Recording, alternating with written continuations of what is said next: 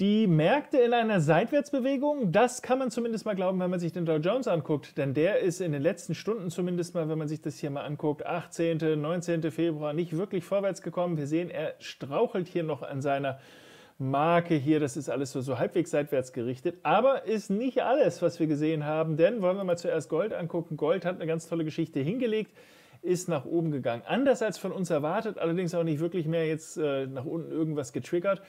Ich hätte mir eigentlich gewünscht, dass wir da noch mal ein bisschen tiefer kommen, um dann vielleicht noch mal eine Fortsetzung nach oben zu kriegen. Gut, das Leben ist kein Ponyhof, die Märkte auch nicht. Man kann sich alles wünschen, aber es geht nicht alles in Erfüllung. Trotz alledem, im Moment hängen wir noch so halbwegs hier unter dem letzten Hoch hier fest. Da ist noch nicht der Ausbruch nach oben erfolgt, aber immerhin haben wir das Ganze angesteuert.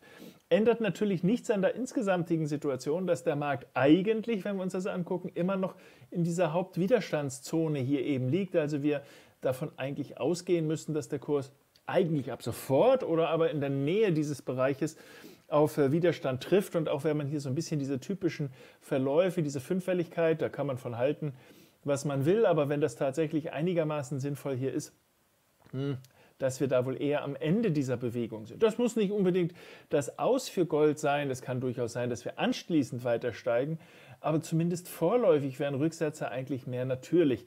Ich war ursprünglich ja davon ausgegangen, dass wir hier so im Kleinen erst nochmal was bekommen. Gut, wenn er das nicht wahrnehmen will, zwingen kann man ihn nicht, dann läuft er jetzt halt weiter.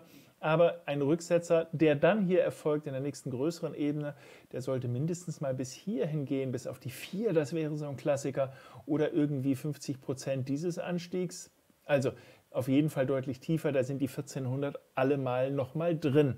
Das muss aber nicht gleich für Panik sorgen, nicht unbedingt zumindest mal, es sei denn, man ist gerade auf dem höchsten Punkt eingestiegen, sondern auch das bis zu diesen Rücksetzerniveaus wären ganz normale, ganz typische Korrekturlevels, die auch in einem Bullenmarkt äh, ganz normal wären, typischerweise vorkommen und niemals zur Panik aufrufen lassen sollten, sondern einfach, wo man sagt, hm, okay, machen wir halt jetzt eine größere Pause und mit mehr Schwung geht es vielleicht dann ja wieder in die richtige Richtung.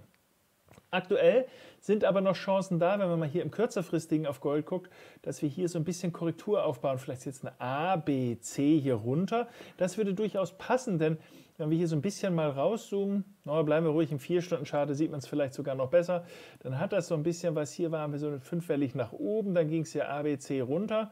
Jetzt sind wir hier, ich sag das mal, in der dritten Welle nach oben, sehr lang, das passt. Und jetzt kriegen wir vielleicht hier wieder irgendwie was Korrektives und dann haben wir eine Chance, eben nochmal nach oben zu kommen. Wir würden überschießen, wären aber wahrscheinlich immer noch irgendwo in dieser Widerstandszone, in diesem Mehrfachen. Wir sehen das hier an den verschiedenen Fibonacci-Extensions und Projektionslinien und so weiter. Also das würde alles noch so halbwegs hinhauen und äh, damit möglicherweise sozusagen das Ende des aktuellen Bullenruns zumindest mal mit sich bringen. Das will ich nicht beschwören. Für uns kürzerfristige Trader bietet sich die Chance, dass wir hier nach dieser Korrektur nochmal einen Long mitnehmen können, zumindest als Fortsetzungstrade, um hier einfach die Richtung nochmal aufrechtzuerhalten. Wer ganz kurzfristig unterwegs ist, der kann natürlich hier drauf schielen und sagen, da geht doch bestimmt auch nochmal was ein bisschen auf der Short-Seite, hängt aber natürlich von dieser Bewegung ab. Das wissen wir ja noch nicht, deshalb noch mit einem Fragezeichen versehen. Man könnte dann aber sagen, letzte Zwischentief wäre ein Trigger, um nochmal hier die Korrektur zu machen. Und äh, als Ziele dafür, wenn wir das hier nochmal so ein bisschen rausnehmen, wären, ganz vereinfacht jetzt mal gesprochen, einfach das mal zu gucken, wie weit waren die vorherigen, dann sieht man, ah, okay, dann können wir nochmal gucken, okay, die, äh, die vierten Wellen, die korrigieren gerne so ein bisschen kleinere Niveaus, 23,6. Wir sehen, hier sind zwei Linien perfekt beieinander. Also das, was wir hier oben mit dem Cluster haben, das gibt es hier bei Gold ebenfalls, in dem Fall für die Rücksetzerniveaus, als eine Idee, wo der Markt dann hinführen kann.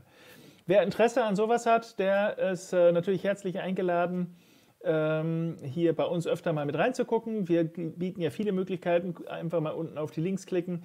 Ähm, da gibt es Angebote, um sowas auch regelmäßig auch auf Smartphone zu bekommen. Das ist überhaupt gar kein Ding. Allerdings, wer selber einfach nur drauf gucken will, das ist auf jeden Fall eine spannende Kiste, die in den nächsten Stunden nochmal auf uns zukommen kann. In diesem Sinne erstmal für heute alles Gute. Leider heute nicht äh, von der Börse in Tokio. Ich bin ja in Deutschland, dementsprechend jetzt heute ein ganz langweiliges Chartvideo. Vielleicht hat es dann doch den einen oder anderen was geholfen, hier mal so einen anderen Ansatz zu zeigen. Nächste Woche bin ich aber wieder da und dann natürlich wieder mit Nana-chan, der kleinen Assistentin, und mit Shimizu-san, dann live von der Tokyo Stock Exchange Also das in der nächsten Woche. Morgen aber dann natürlich nochmal von deutschen Landen aus.